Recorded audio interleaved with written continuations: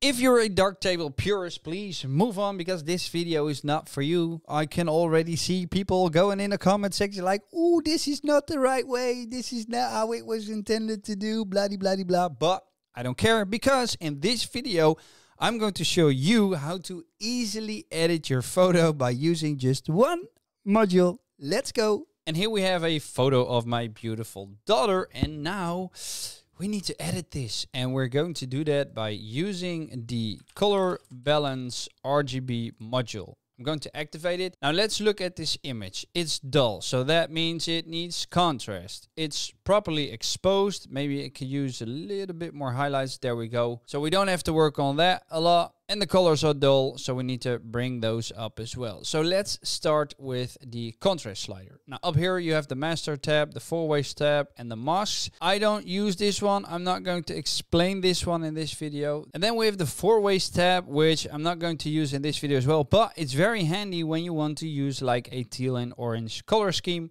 And here we have the master tab again. This is what we are going to use. Now, like I said, this image is very dull. So let's add some contrast first. And we need quite a bit to make this come alive. And then once we've added the contrast, we have these options. So the linear chroma grading, the perceptual saturations grading, and the perceptual brilliance grading. Now the linear chroma grading affects the chroma dimensions proportionally to its input value at constant hue and luminance. It does this globally with a flat coefficient using the global chroma as well as on each of the shadows, midtones and highlights masks. So those are these three. Then we have the perceptual saturation grading and that affects both the luminance and the chroma dimensions in a perceptual space proportionally to its input value at a constant hue and then the last one is the perceptual brilliance grading, and that affects both the luminance and the chroma dimensions in a perceptual space proportionally to its input value at constant hue and in a direction orthogonal to the saturation. Its effect is closer to that of changing exposure but scaled perceptually. I'm going to increase the global chroma and I'm going to increase the global saturation and I'm going to increase the global brilliance to really brighten up this image. Now the colors still look washed out so I'm going to add some global vibrance as well. And now let's see a before and after. So